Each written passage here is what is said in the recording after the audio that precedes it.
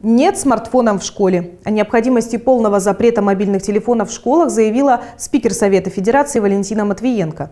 По ее предложению, с гаджетами за порог учебного заведения учеников не должны пускать к 1 сентября. Сенатор утверждает, если ребенок придет в школу с телефоном, то вместо того, чтобы учиться, он будет под партой читать и смотреть. Спикер Совета Федерации попросила главу Роспотребнадзора Анну Попову разработать предложение об ограничении использования мобильных в школе в течение месяца, уточнив, что смартфон смартфоны нужно не изымать у детей в школе, а запретить их приносить.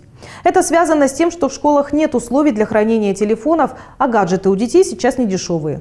Инициативу сенатора поддержала вице-премьер Татьяна Голикова. Она согласна, что использование телефона в школе нужно регламентировать, но она против того, чтобы запрещать гаджеты полностью.